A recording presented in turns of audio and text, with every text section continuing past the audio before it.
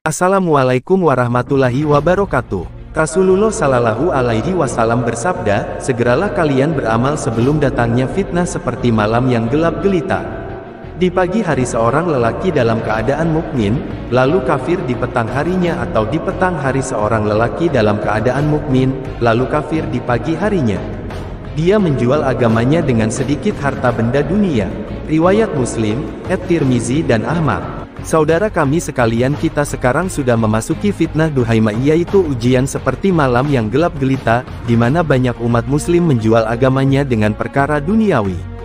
Fitnah ini bukan letaknya hanya pada perkara yang menyangkut amal ibadah tetapi sistem kezaliman yang dipaksakan ke atas semua.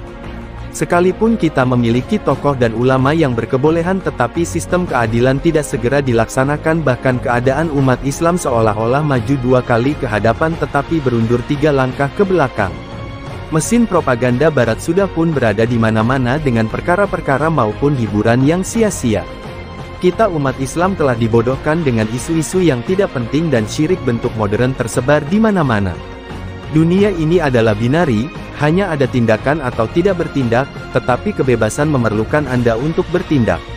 Sultan Brunei pada tahun 2009 pernah membongkar dan merasa kecewa dengan kerajaannya sendiri, di mana isu zakat tersimpan jutaan uang Brunei, sedangkan yang bekerja di bawahnya adalah ahli agama yang mempunyai peran yang penting, serta mengingatkan musibah yang besar yang boleh terjadi dengan isu kemiskinan. Sekarang ini di Malaysia juga telah terbongkar kepimpinan yang melakukan korupsi secara besar-besaran sehingga menjatuhkan ekonomi negaranya. Presiden Indonesia juga telah mengingatkan berulang kali bahwa akan terjadi resesi, ekonomi di tahun hadapan akan jadi lebih gelap berbanding sebelumnya. Lalu apakah yang sudah kita lakukan dengan semua ini? Mimpi Muhammad Kasim adalah al-mubashirah yang benar untuk kita melakukan persiapan untuk menghadapi segala macam musibah.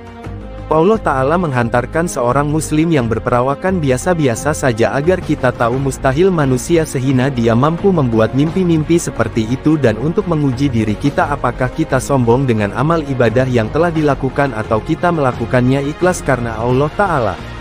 Diki Chandra dari Indonesia, Ketua Majelis Gaza telah berusaha semaksimum mungkin agar kita semua umat Islam siap siaga dalam menghadapi musibah yang akan terjadi di mana akan berlakunya krisis makanan dan krisis tenaga dengan mengambil hikmah dan pengajaran dari mimpi Muhammad Qasim.